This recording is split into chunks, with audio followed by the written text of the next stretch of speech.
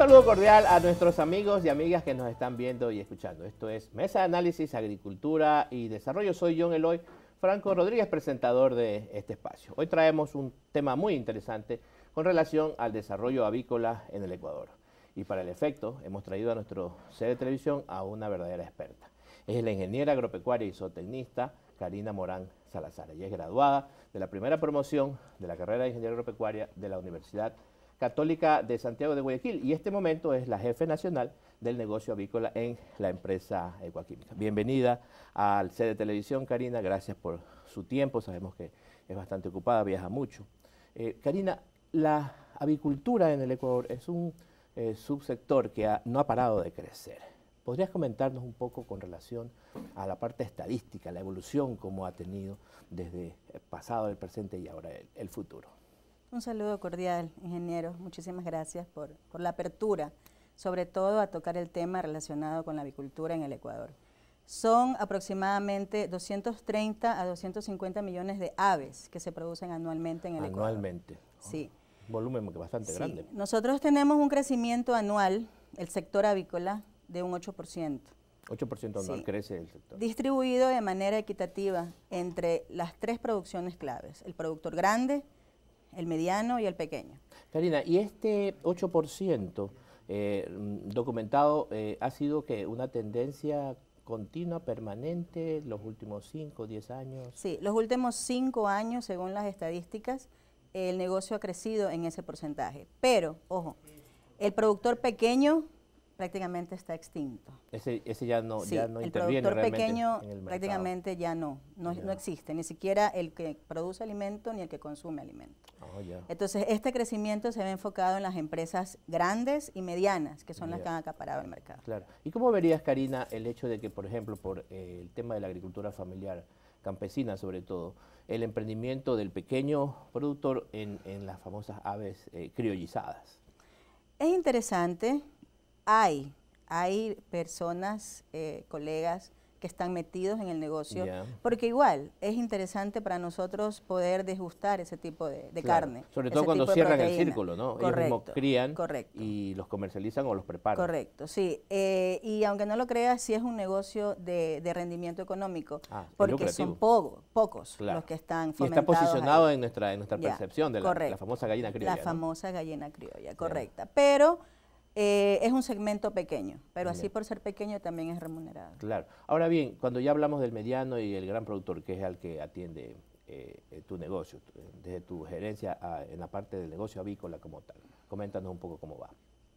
Bueno, efectivamente, este, la empresa para la que trabajo maneja el área de avicultura y este, nosotros manejamos clientes que va desde los grandes a los medianos.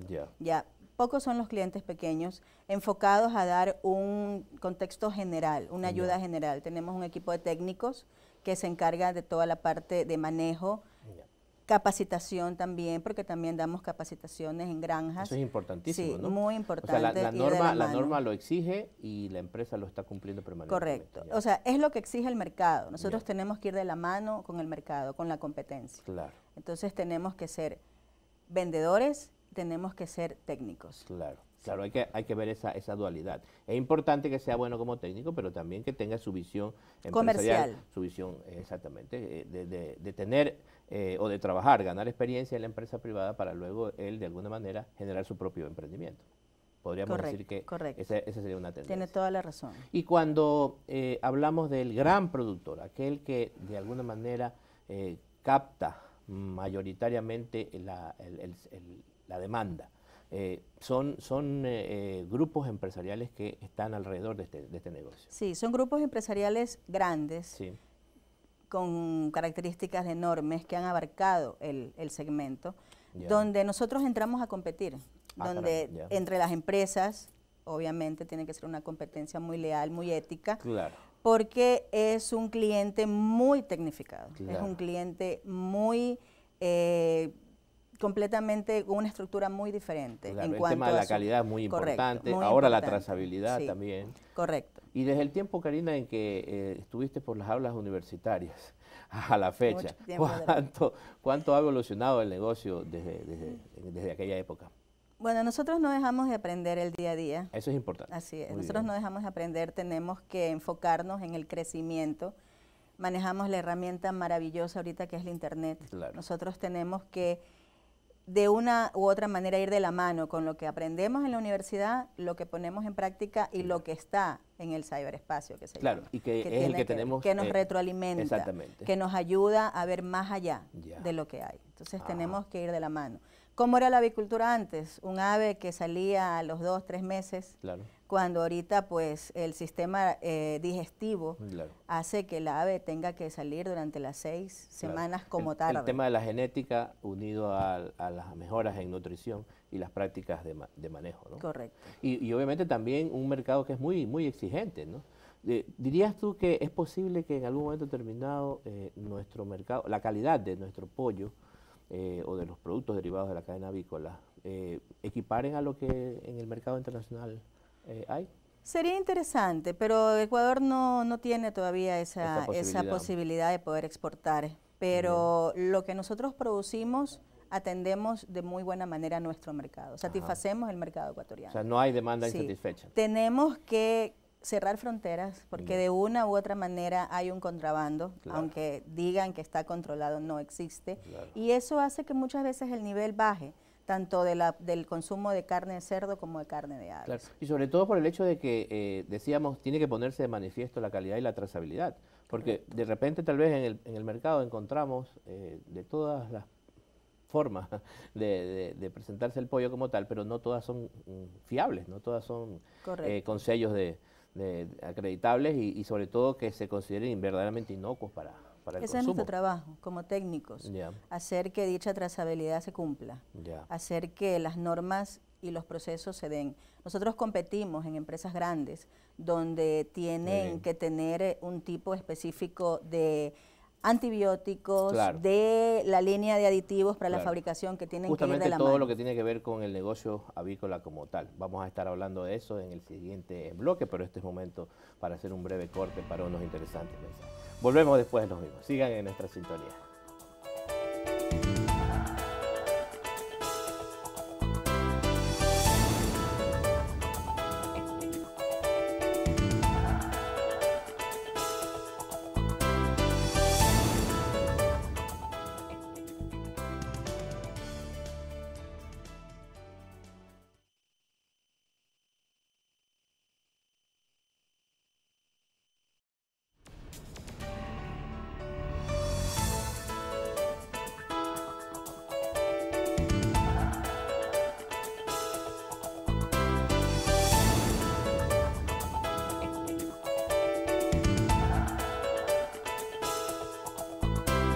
Gracias por seguir en nuestra sintonía. Estamos con Mesa de Análisis Agricultura y Desarrollo, trabajando sobre el tema de la avicultura eh, en el Ecuador con una verdadera experta. Ella es Karina Morán Salazar, ingeniera agropecuaria, zootecnista graduada de la Universidad Católica de Santiago de Guayaquil en su primera promoción. Karina, desde el tiempo en que eh, compartimos contigo aquí en la universidad, esos conocimientos, esos contenidos, esas prácticas, eh, luego, cuando fuiste a la empresa privada, entiendo de que tu actividad profesional ha sido enteramente siempre en el sector avícola.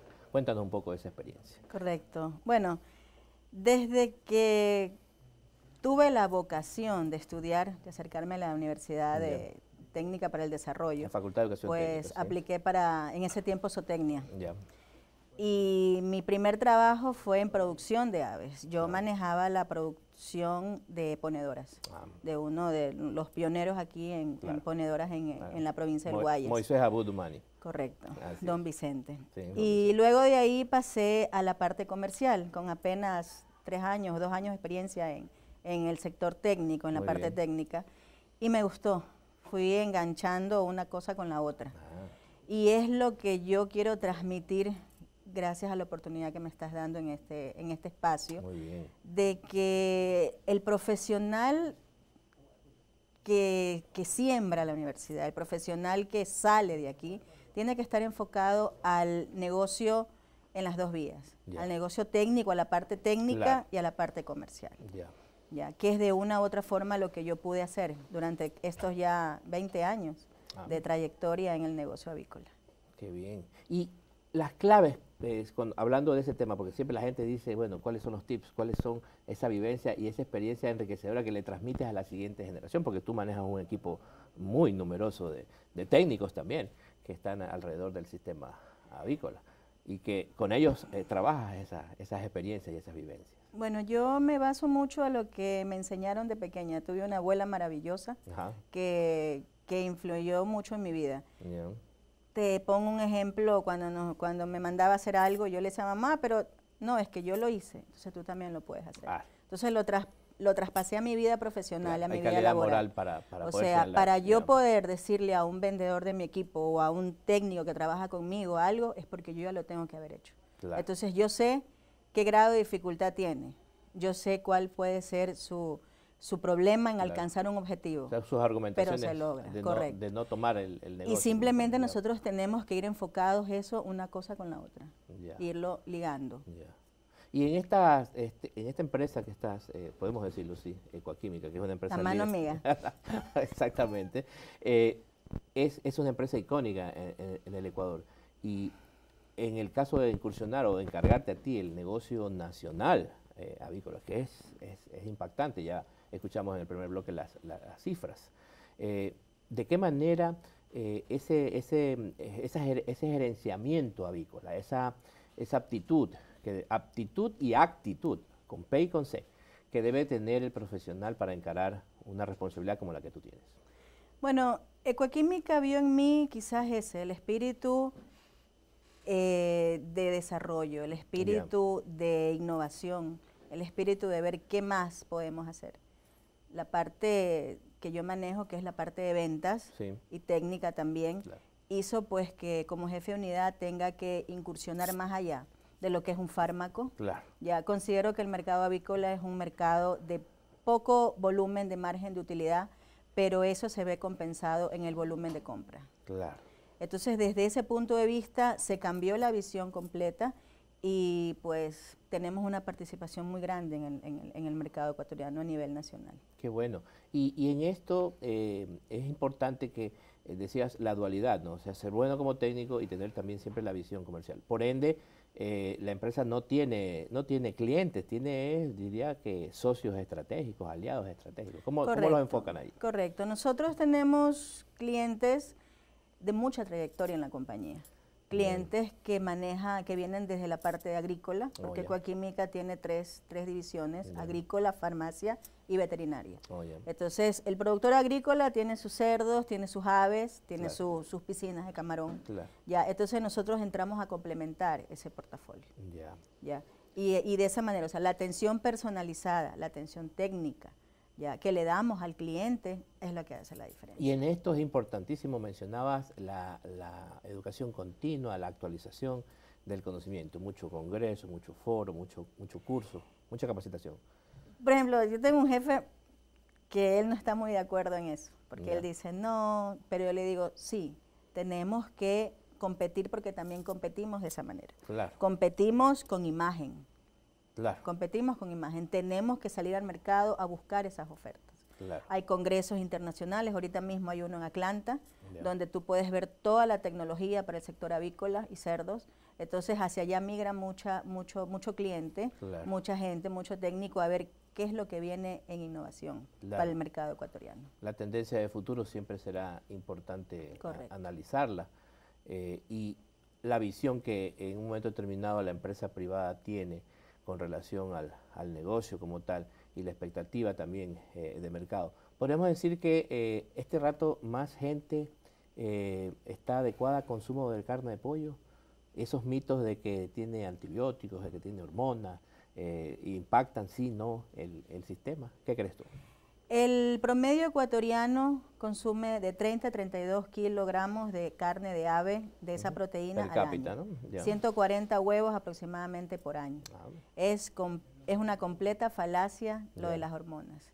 Eso es mentira, ingeniero.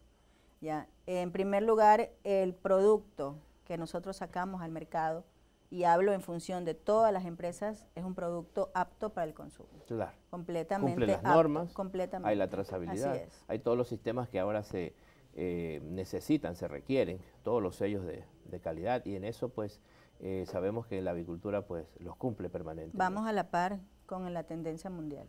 exactamente, y eso es algo justamente interesantísimo que hay que destacarlo, o sea, siempre la visión de futuro eh, y hacia dónde en un momento determinado nos vamos a posicionar eh, o reposicionar también, en tanto y en cuanto a la tendencia del, del mercado como tal. Vez la vamos a estar conversando en nuestro último bloque que trata precisamente de la visión de futuro el avícola en el, en, el Ecuador de la mano de Karina Alexandra Morán Salazar con eh, esta perspectiva de eh, desarrollo en el sector agrícola. Vamos a unos interesantes mensajes, volvemos después. Adelante con ellos.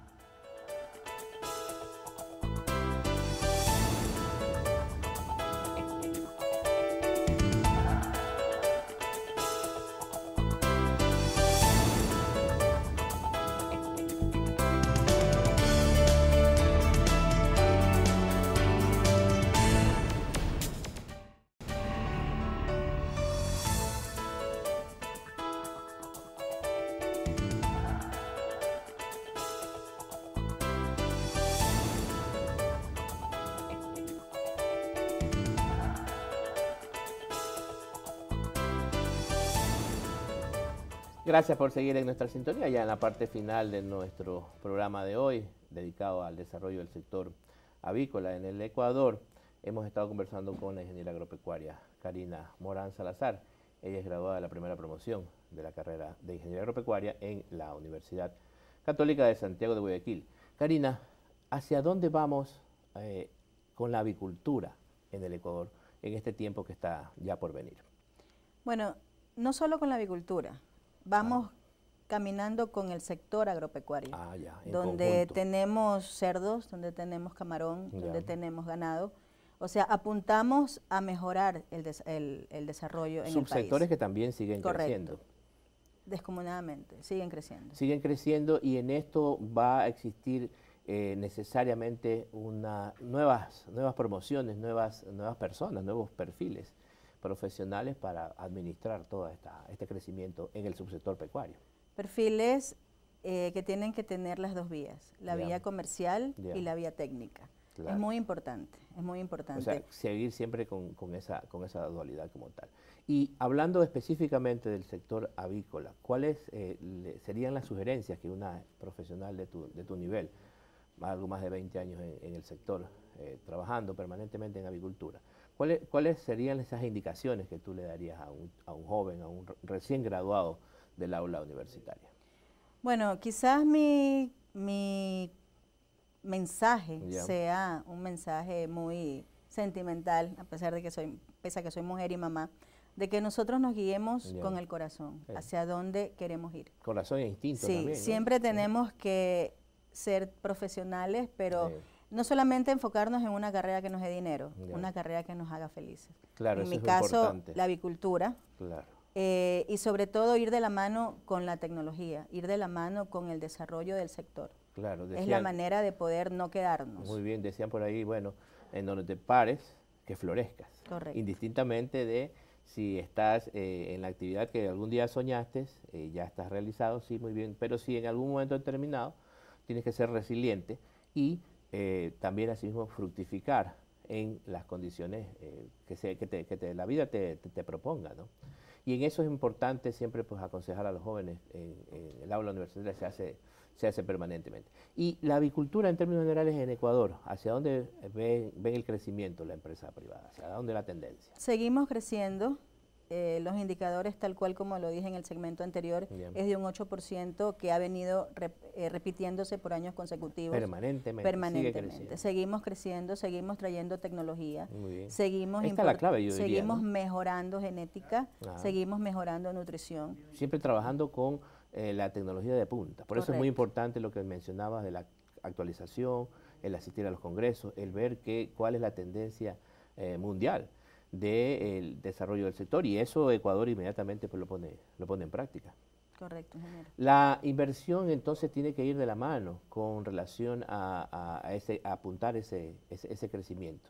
Y en tanto y en cuanto, eh, aquí han estado eh, otros especialistas también en eh, desarrollo avícola y, agropecuario en términos generales, y siempre nos decían que ahora, inclusive para el gerente, en este caso, en tu caso, para tomar decisiones, existe en la nube mucha información. Y esa mucha información en algunos casos pues, puede ser eh, también compartida y socializada. ¿Cómo lo manejarían la tendencia allí? Escuché por ahí que el mundo es uno solo. Ya. Nosotros tenemos proveedores que están en otros países. Ya. Que ellos, donde nosotros, cuando nosotros es de noche, para ellos es de día, ah, y hacemos negociaciones. Claro, eso es importante también destacarlo. Bueno, Karina, se nos ha terminado el tiempo, es oro en televisión. Eh, nosotros agradecemos mucho tu, tu, presencia y te damos a dar un minuto para que, mirando tu cámara al mundo, lleves tu mensaje como ingeniera agropecuaria graduada de esta universidad. Adelante, Karina. Bueno, a todos los jóvenes que están encaminados a poder estudiar esta carrera, es una carrera que tiene que ser estudiada con, mucha, con mucho corazón, tiene que ser estudiada con, mucha, con mucho amor y de la mano con todo lo, lo que es la tecnología. Tenemos que ser técnicos, profesionales de campo y comerciales. Es la única manera de avanzar, es la única manera de competir y éxitos y suerte en una de las mejores universidades que es donde yo me gradué. Muy bien, muchas gracias Karina eh, Morán eh, Salazar con su mensaje interesante con relación a su vivencia profesional en el desarrollo avícola del Ecuador. Agradecemos que nos sigan escribiendo a nuestros correos electrónicos, dándonos me gusta en las redes sociales y también llamando pues a nuestros teléfonos eh, aquí en la universidad y el canal. Soy John Eloy Franco Rodríguez y esto ha sido Mesa de Análisis, Agricultura y Desarrollo. Que estén muy bien. Muchas gracias.